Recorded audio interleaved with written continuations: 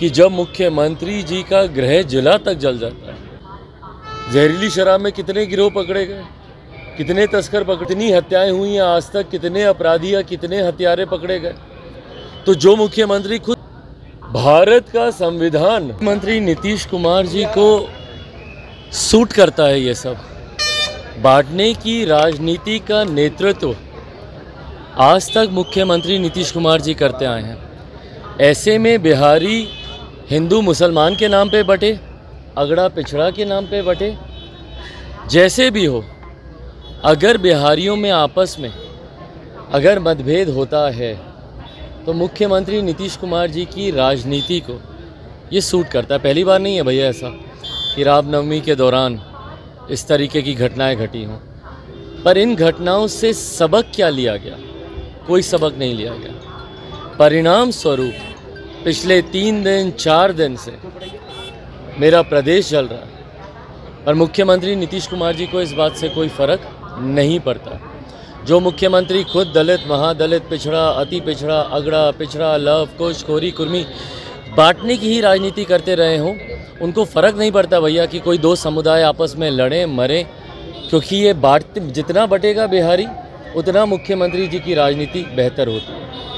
ऐसे में चिंता इस बात की ज़्यादा बढ़ती है कि जब मुख्यमंत्री जी का गृह जिला तक जल जाता है, जो मुख्यमंत्री अपने गृह ज़िले को सुरक्षित नहीं रख पाते, किस तरीके से नालंदा के बिहार शरीफ में ये घटना घटी, जो मुख्यमंत्री अपने गृह ज़िले को सुरक्षित नहीं रख पाए, उनसे बिहार की सुरक्षा की उम्मीद रखना जायज़ है क्या?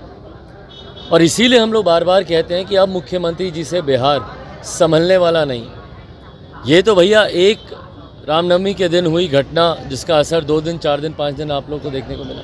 पर जो रोज़ बिहार में हत्याएँ हो रही हैं, जो रोज़ बिहार में अपहरण हो रहा है, लूटमार हो रही है, जहरीली शराब की वजह से हत्याएँ हो रही हैं, उसका क्या? जो मुख्यमंत्री गृह मंत्री होने के बावजूद इन घटनाओं की रोकथाम नहीं कर पा रहे हों, और कहीं ना कहीं, भाई, मैं तो मानता हूँ कि संरक्षण ही इनका है जहरीली शराब में कितने गिरोह पकड़े गए? कितने तस्कर पकड़े गए? या जितनी हत्याएँ हुई हैं आज तक, कितने अपराधी या कितने हत्यारे पकड़े गए? तो जो मुख्यमंत्री खुद संरक्षण देते हों, उनसे अब बिहार संभलेगा नहीं और इसीलिए मामहीम राज्यपाल जी से भी मुलाकात कर कर और कल एक पत्र के माध्यम से देश के केंद्रीय गृह मंत्री आदरणीय अमित शाह जी से भी हम लोगों ने मांग की है कि भैया अब और हत्याओं का इंतज़ार हम लोग नहीं कर सकते। और इसीलिए बिहार में अब राष्ट्रपति शासन लागू कर देना चाहिए। जब बिहार शरीफ और भाई साजिश हो ठीक है मान लिया हम लोगों ने। पर किसने की साजिश? तो पकड़े गिरफ़्तार करें भाई। जिसने भी साजिश की है, गिरफ्तारी तो होनी चाहिए ना। भारत का संविधान इधर देख के। भारत के संविधान में जो फेडरल स्ट्रक्चर है, जो संघीय ढांचा है, उसमें कई अधिकार जहाँ केंद्र सरकार के पास हैं, वहीं कई अधिकार राज्य सरकार के पास हैं, जिसमें लॉ एंड ऑर्डर पूर्णतः राज्य सरकार का विषय है, राज्य सरकार के अंतर्गत आता है।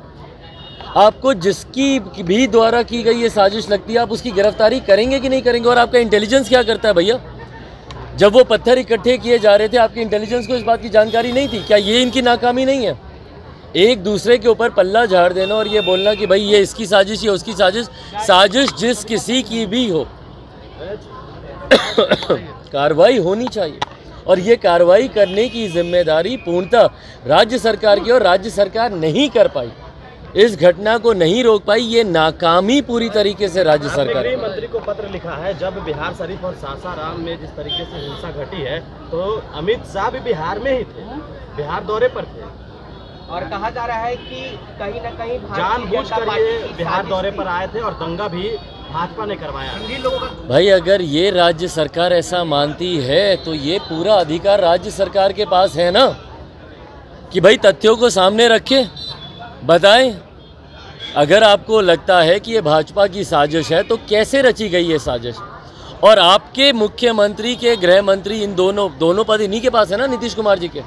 आपके रहते हुए इस साजिश को रचा गया, इस साजिश को अंजाम दे दिया गया, और उसके बावजूद आप कुछ नहीं कर पाए, आपके गृह ज़िले को जला दिया गया तो ये नाकामी किसकी है भैया? जब ये दूसरों पे उंगली उठा रहे हैं, और जब ये कह रहे हैं कि इनकी साजिश है तो आप अपनी नाकामी को आप दिखा रहे हैं।